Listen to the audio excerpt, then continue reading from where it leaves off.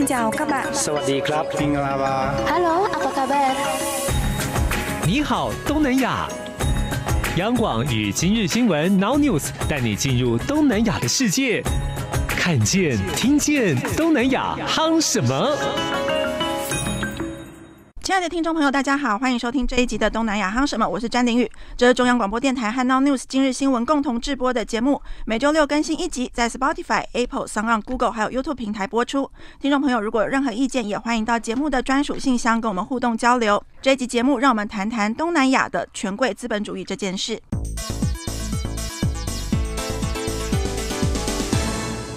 二零一零年，资深的中国事务观察家周博推出一本直到今天都还是很经典的书，书名叫做《亚洲教父：透视香港和东南亚的金权游戏》。在这一本书里，周博提到了很多叱咤风云的东南亚政商富豪，他们对国家的经济发展普遍来说贡献都很少。为什么呢？因为这些人可以赚大钱，他们重点是在于他们看到的区域跟国家的问题，像是落后还有腐败，并且利用这一些机会来赚钱。周博也在书中强调，这一群亚洲教父，他们之间呢有着千丝万缕的经济裙带关系，所以他们需要花很多时间在经营人际关系，像是跟当红的政治人物往来，安排高尔夫球局，为了迎合的人呢，安排使用豪宅、游艇还有饭店，也要为政客的子女解决问题，还要在全世界各地送往迎来。那周博他说，亚洲经济教父对于经济的贡献，还有对于企业人才的培育，付出非常的有限。那这是因为他们的企业主要是借由获得垄断权后降低成本来获利，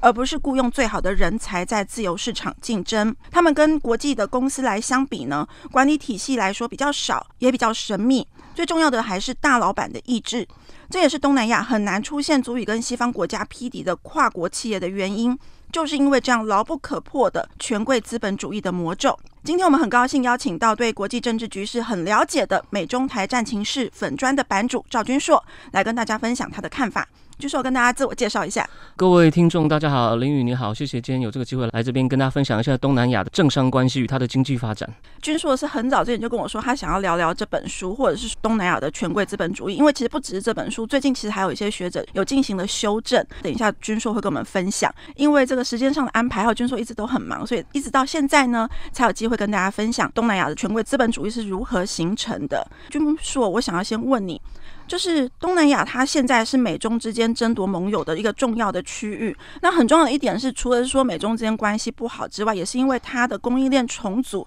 而受到国际的重视。东南亚各国它过去的经济成长其实不是那么那让人满意。那就像刚刚周博的书中他有提到，就是东南亚为什么各国之间呢充满了教父经营的寡占事业？他有提出一些说法。那你怎么看他所提出的这些说法？是的，周博这本书我到今天哦还是可以看作一个。研究东南亚政治的一本哦经典，虽然他不是学术界出身啊，他就提醒我们说，虽然说以前有这个亚洲四小龙第一波，然后东南亚是第二波这个说法，可他要提醒大家说，你注意看哦，东南亚并没有什么国际的品牌，然后呢，它的国内呢都是充满这种寡占啊，哦官商勾结啊，于是呢，他就从头追溯，从东南亚融进英国这种日不落国，在全球建立贸易体系哦，开始对当地所带来的。影响，然后这影响呢，一直延伸到哦，他们独立之后呢，诶，这个新的统治者上来之后呢，这些哦本来也就在那边的华人呢，就开始。一些比较有钱，甚至可以说是，比如说是一种叫做土生华人，叫做做 Paranakan 或者叫做巴巴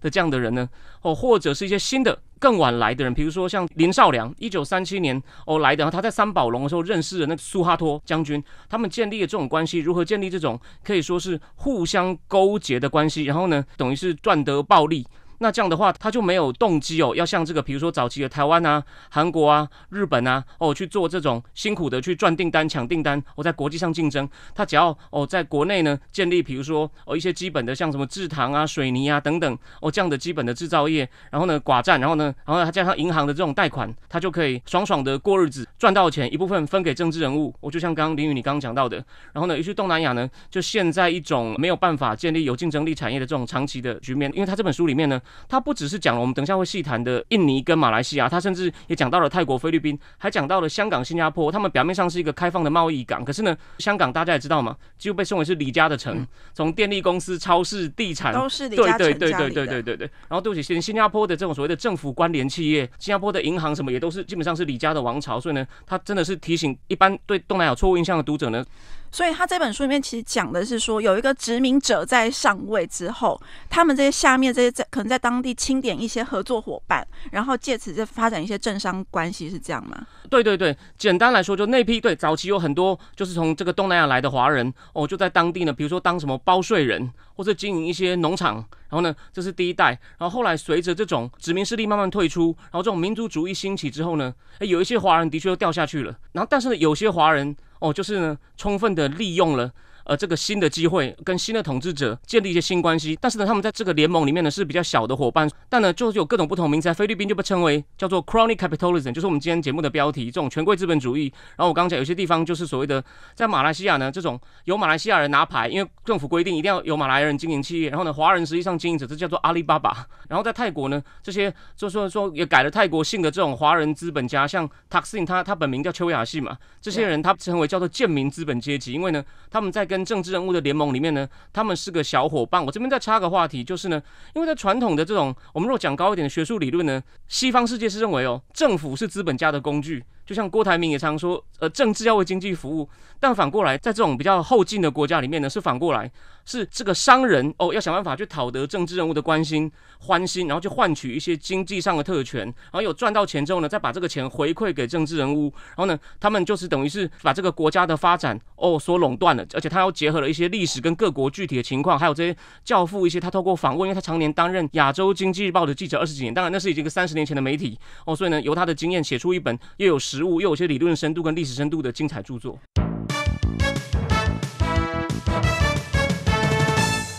你刚刚讲到塔克辛，我才想到，他在书里面有提到这些教父喜欢行塑一些，比如说像我们讲直接一点，就造神、造神的那种过程，比如把自己讲的就是家里很穷啊，贫苦学习呀、然后怎么样奋发向上，最后就变成现在这样一个局面，实际上都不是嘛。对，我再补充一点，像霍英东哦，现在大家可能看到他的新闻是讲到他的儿子跟章子怡谈恋爱，然后他最喜欢讲我没有念过什么书，但周伯安书里面就点出说，他就念过很好的英国学校，他就是看得懂英国人的那个招标公报，我才开始去进口一些东西，然后呢，就是从国海外进口这些东西，然后再从香港转口进到内地去，除了一些民生用品以外呢，当然他还有一个他最不承认的军火哦，就类似，所以他们很多教父呢都是受过良好的教育，懂得如何跟洋人建立关系。那不只是英国人哦，以印尼来说的话呢，哎，有一些人他就是哎，他很懂得跟荷兰人相处，有些甚至哦也会讲荷兰文，然后呢就等于是代表荷兰人，因为荷兰人知知道印尼也不多，他们就代表荷兰人，不但是管理当地印尼人，也管理那些比较穷的福建、广东来的那种华人的那种农工。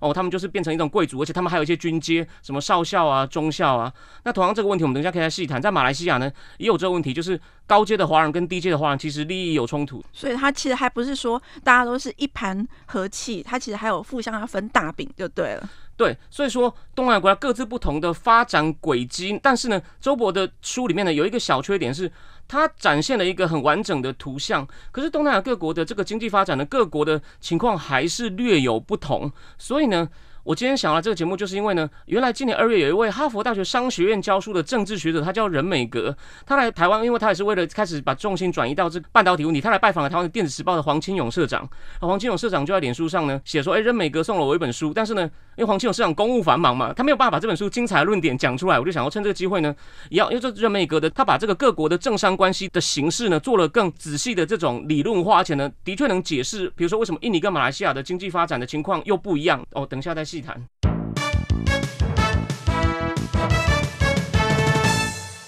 对你刚刚讲到任美格的书，他其实有回答一个问题，试着回答一个问题，就是为什么在威权政体中的政商关系一开始都是共同追求经济成长的好伙伴，但是后来都退化成充满贪污，还有的政商勾结、威权政体的腐化，还有说政权的崩溃。他想要回答这个问题，那你觉得他有回答到吗？他的这本书的名称英文叫 Precarious Tie，就是呢算是什么很脆弱的关系。我认为他这本书，他利用了他原来专长中国大陆，再延伸到研究马来西亚跟印尼的华商如何去跟这个当地的政治人物建立联盟呢？他分出了几种形式，然后呢，他的确做了很强烈的解释。我这边很快的说明一下哦，他的观点就是呢，这个政商关系有四种形式，那取决于两个变数，什么呢？你要看这个商人跟政治人物他们彼此之间哦有没有互信。然后呢，再来呢，另外一个维度是什么呢？就是他的政府，因为在威权国家里面，他们都牢牢掌握金融体系。可是呢，如果你牢牢掌握金融体系，然后两边又有互信的话呢，就会变成叫做 mutual alignment，互相一致。这好处是算大家都分赃，可是呢，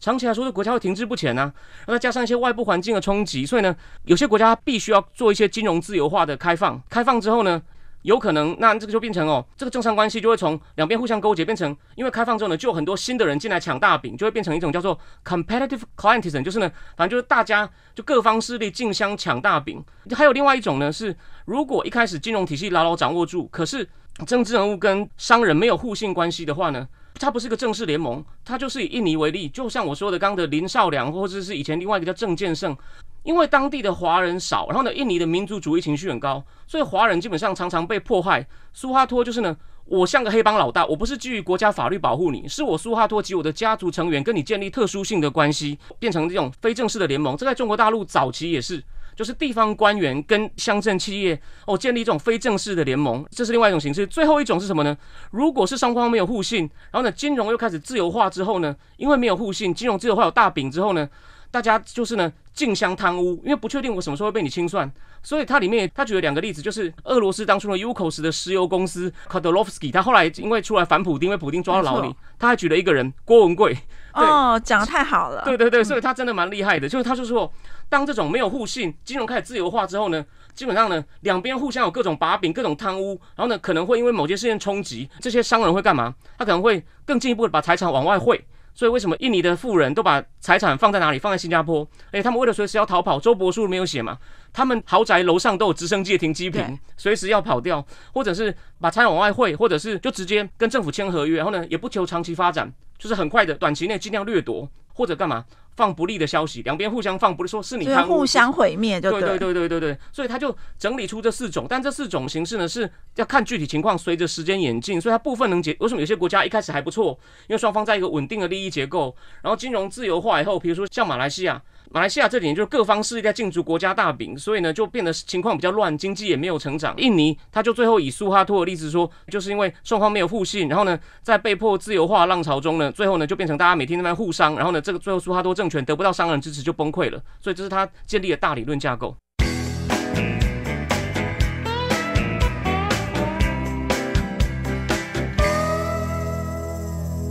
它里面有提到马来西亚跟印尼嘛，可不可以以马来西亚的国政做例子？马来西亚一九五七年独立之后，它是长期执政的政党。马来西亚在那个时候也不算是一个民主政体，算半民主嘛。那国政透过它的长期的统治，其实结合了很多政商的权力在他的手中。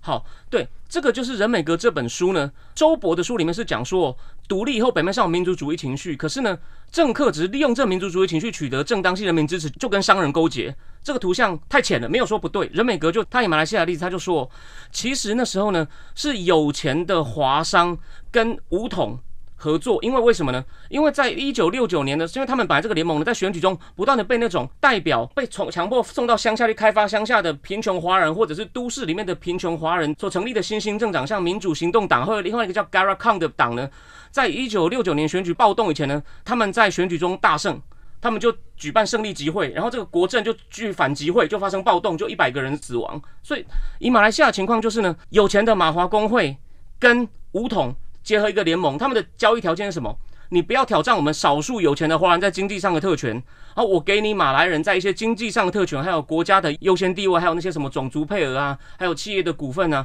这样的交易呢，其实对一般的。因为马来西亚呢是最高有四成华人嘛，大部分的华人其实我刚刚讲的城市里面的农工阶级或者乡下以前甚至以前是跟共产党搞的，像以前郭鹤年的弟弟有一个就是在那个丛林里面打游击战死掉的，所以那其实是一个少数的有钱的华人跟马来人的联盟，但有一段时间还蛮稳定，他们终于用一些方法，慢慢的就会把那种要求让华人比较公正，不要被马来人歧视的人排除在外面。印尼的华人因为没有那么多，所以说在马来西亚联盟是一个正式的联盟。印尼的完全就是靠个人式的关系，跟苏哈托家族的个人式关系去建立的另外一种联盟。所以呢，那种联盟就是会更脏、更 dirty。所以他建立的不是跟政府之间的关系，而是个人。对领袖个人这样，对对对，所以说为什么人脉格把它分类成一种叫做 informal mutual alignment，就是非正式的。如果回到马来西亚讲的话，因为这种联盟有一个很糟的负面效果，就是呢，比如说马来人的小企业呢得不到保障，所以后来马来西亚国内的企业被华人所寡占，这个在周博书都写得很清楚。那另外呢，马来西亚比较大的企业呢就变成外商进来，所以马来西亚还是有一定程度的经济发展，可是很多穷的马来人其实。只是得到略微提升，有些华人就慢慢外流，所以马来西亚的华人从刚独立的时候的四十趴，现在掉到剩二十三趴，就是他们很失望。哦，就是一些算是中产阶级的华人，因为得不到觉得被歧视、没有公平发展的机会，所以马来西亚是一个就是还算有些发展，可是呢，它有一些还是因为这个联盟本质上是不公平的。哦，所以基本上可以这样，这人美格的书的价值就在这里。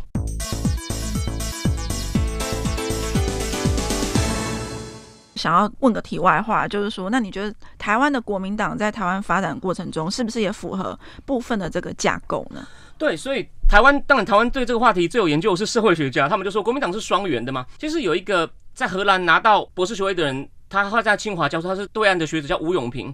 他说，就是国民党当初呢，诶，在国内他就垄断各种上游企业嘛，什么中钢啊、中油，所以国内的那个以前正大的那个社会学王正环就说嘛，就是一个双元的结构。但国民党当初也觉得这样不对，他就想要鼓励。那些大企业搞出口，结果发现响应的都是中小企业，这就是我刚刚讲的，在清华大学教授的吴永平，他透过他研究早期历史文件，发现是台湾的小企业主，就是当讲拿着一个皮箱出去抢这个订单，然后台湾的经济慢慢一步一步升级，从纺织玩具到电子业。可是呢，另外一方面，那种党国早期掌握国营事业没有变，所以为什么三十年前民主化的时候，那些朱敬一等人写出那本叫《党国资本主义》嘛？所以台湾部分也有这个问题。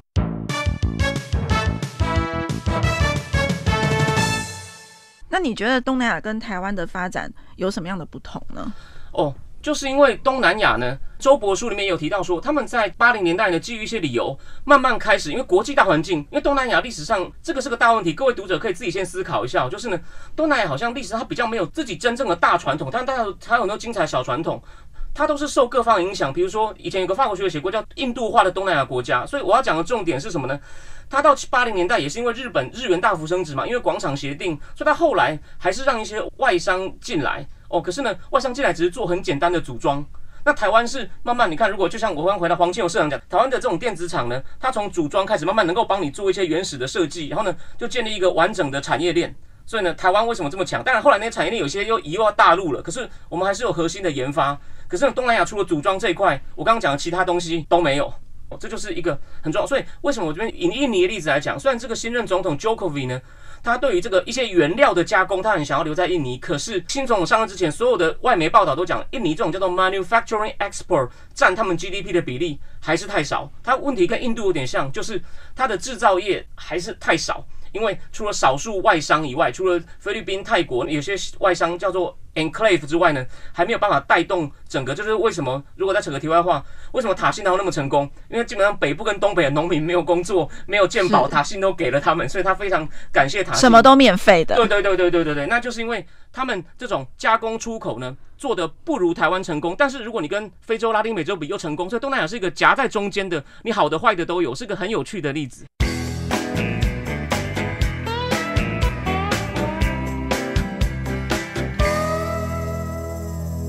你刚刚讲到塔信，我就想到他虽然自己本身是一个教父，靠着这种寡占事业、电信产业上来的嘛，可是他自己当总理之后呢，其实他自己是蛮有意识的，在开放泰国的市场，甚甚至是改造泰国的市场。你怎么看这个教父从政之后的转变？我觉得塔信是个他的政治才能，其实在世界上是一等一的。所以为什么泰国那个传统的军方跟那些少数有钱华人的联盟一定要搞掉他？因为塔信跟上一个总统 Jokowi 其实有点像，就是。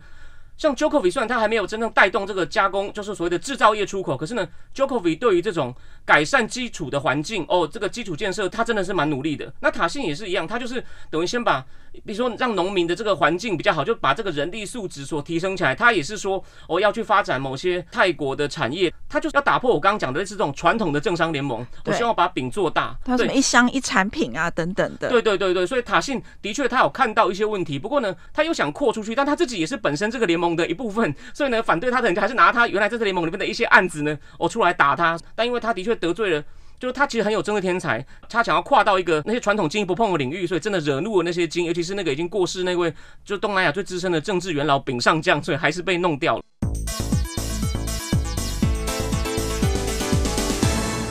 书里面他有讲到，就是这些大企业家，他其实是不太做外部的，就他的交易不太是跨国性的。就以泰国为例，哈，它其实是有蛮多跨国企业的，像普丰啊、谢家的普丰等等，它其实企业规模也都蛮大。它是跟我们现在认识的这种所谓的大型的跨国企业的不同在哪里呢？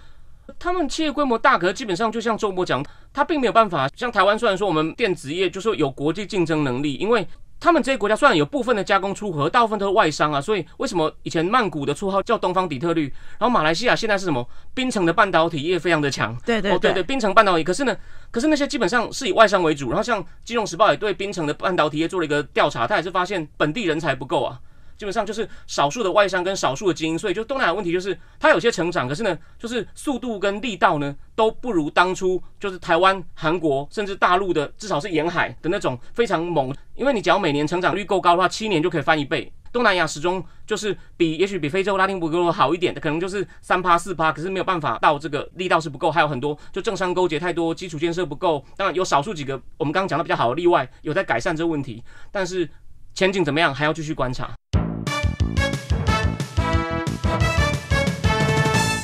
周博书啊，有讲到新加坡的例子嘛？那新加坡刚好最近换了总理。其实老实说，新加坡在过去不知道未来会怎么样。过去就是李氏王朝，他们看起来非常的廉洁。可是他有提到说，必须要转型的时候，他一一样是开放赌场来作为转型，来拿那些钱。那你怎么看新加坡未来的发展？周博书最精彩其中一点，他说你要注意到，他说新加坡跟香港成功的关键是什么呢？因为他们是两个城市国家嘛。他们就是在周围都很糟的时候呢，保持一定程度的开放，办一个成功的转口港，所以呢，对外部分都很开放，但对内还是有各种寡占勾结。但是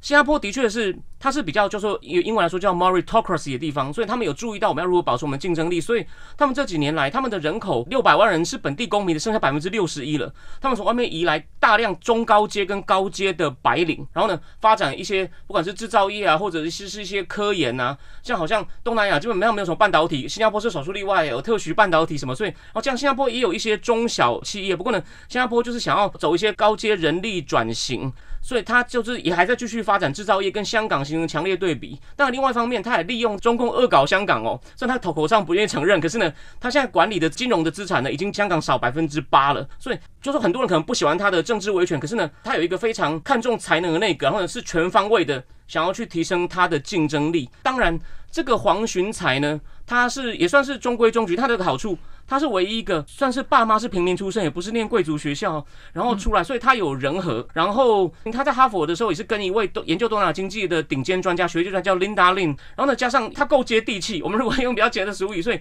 他应该就是又能够体会到这种引进高级人才会对造成的民怨。但另一方面呢，他也有保留新加坡传统那种就是要找吸引世界上最好的东西进来的这种传统。所以我认为他有希望以很年轻的年龄继续保持这个成果了。然后呢，也同时。就是照顾到民间需求，而且呢，也慢慢让新加坡变得更开放一点。他也承认，他说我下一任会不会是总理都不知道。虽然这是一种夸张的讲法，因为新加坡上次工人党已经赢得前史无前例的实习，他等于在暗示说，我下一任可能不会再选得更好，大家也要准备，就是反对党可能势力会越来越强，他也愿意接受。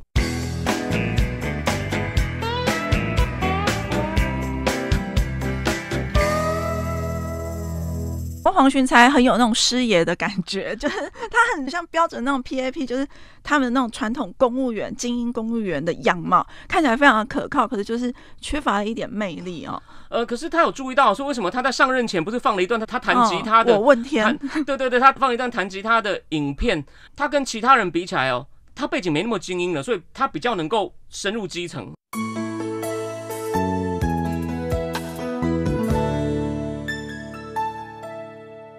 最后一个问题就是，如果东南亚这些国家要调整体质，要怎么调整？基本上哦，如果要调整体质的话呢，但其实有点难，因为之前台湾有一个人，好像他去印尼发展过嘛，他就写了一个，他说，其实哦，你说一些高阶人才或中阶人才，基本上都不缺，不管是在本地找或从海外找都没问题。比如说，台湾有一位立委落选人，他现在就跟他哥哥到印尼去搞做新创去发展的。之前时代力量的某立立委落选人，可是呢，那个人就说，可是现在最大问题就是。你还是要那种后面那个政商的脉络，你要是打不通啊，你竞争还是不公平。但现在有个问题，就是说这是他很大的隐忧。就比如说像我刚刚讲那个印尼上的这种 Jokovi，他在招商改变基础环境下很不错，可是呢，他对于就是健全民主体制、法治体制呢，基本上也出现倒退。虽然他看起来已经是一个很开明，像也是出身平民，所以就在印尼那种人口太多的地方，有太多利益的时候呢，基本上你很难去他把他的儿子又拱上来当。对对对，所以说东南亚基本上，我认为未来比较理性短期来看，基本上就是那种进两步退一步的情况，因为他还是背后那些。政商勾结不是那么容易就能够清掉。不过呢，在他们重点发展的产业呢，你一定要去更仔细的围观，才能够找到一些相对开放、相对政府愿意大力推展，然后呢，相对能够把那些贪污挡在外面的。比如说，像印尼就把那个铝的整条供应链都留在国内，就禁止铝的原料出口，你在国内加工好再出去。具体来说，就是要看行业，因为 in general 它的那个政商勾结的大问题还没有明显的改善。